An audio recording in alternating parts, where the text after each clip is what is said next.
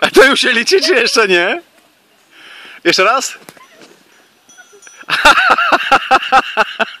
Już było, czy jeszcze nie?